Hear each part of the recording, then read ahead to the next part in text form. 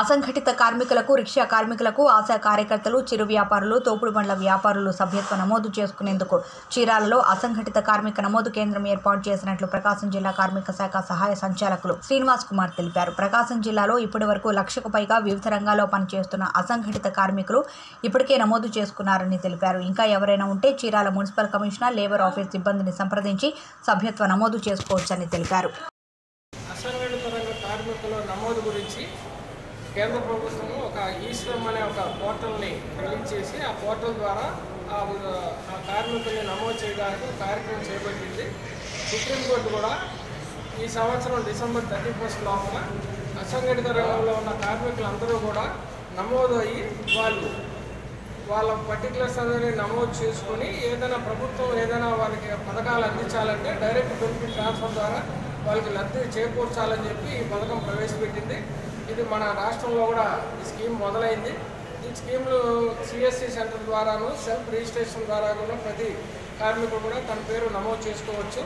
ఈ- దీంట్లో పథకంలో చేరటానికి అర్హులు ఎవరంటే పిఎఫ్ ఈఎస్ఐ చెల్లించని కార్మికులు ఇన్కమ్ ట్యాక్స్ కట్టని కార్మికులు. అంటే మట్టి పని చేసుకునే భవన నిర్మాణ కార్మికులు ఇంటి పని చేసుకునే వాళ్ళు ఆశా వర్కర్లు అంగన్వాడీ వర్కర్స్ తర్వాత మధ్యాహ్న భోజన పథకం వర్కర్లు వ్యవసాయ కూలీలు పాలు పెరుగు అమ్ముకునే చిరు వ్యాపారస్తులు. వీళ్ళందరూ కూడా ఈ పథకంలో చేరడానికి అర్హత ఉంది.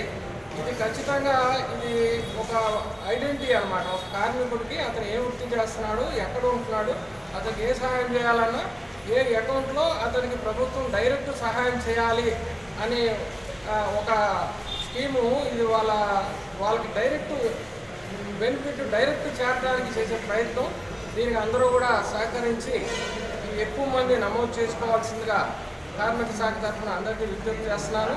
ప్రకాశం జిల్లాలో సుమారు ఒక లక్ష నలభై తొమ్మిది వేల మంది భవన నిర్మాణ కార్మికులు ఉన్నారు. వాళ్ళందరూ కూడా డైరెక్ట్ ఇది అవ్వచ్చు. తర్వాత వ్యవసాయ కూలీలు వీళ్ళందరూ కూడా అవ్వచ్చు. మున్సిపల్ కమిషనర్ గారికి ఇప్పుడే రిక్వెస్ట్ చేశాను. మున్సిపల్ కమిషనర్ గారి ద్వారా ఇది గ్రామ సచివాలయాల్లో కూడా సచివాలయ వెల్ఫేర్ అసిస్టెంట్ ద్వారా కూడా అక్కడ నమోదు చేసుకోవడానికి అవకాశం ఉంది.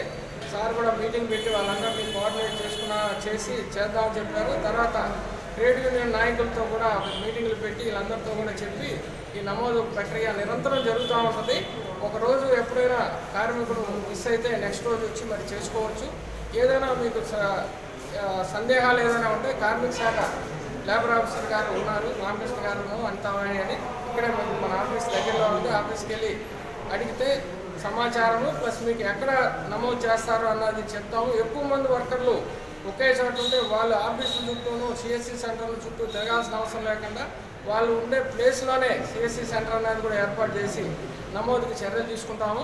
కనుక అందరికీ అందరూ కూడా దీంట్లో నమోదు చేసుకొని మీ పేరుతో మీరు ఆ కార్డు పొంది ప్రభుత్వం అందించే వివిధ రకాల సంక్షేమ పథకాలను అందుకోవాల్సిందిగా కార్మిక శాఖ తరఫున తెలియజేస్తాం